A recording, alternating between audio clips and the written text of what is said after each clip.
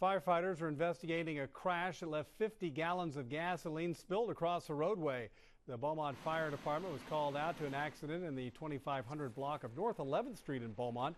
Fire Chief Brad Pennison said a station wagon crashed into an 18 wheeler that was carrying gasoline. The tank ruptured, spilling 50 gallons of gas across the road. Hazmat was called on to clean up the mess. No one was hurt.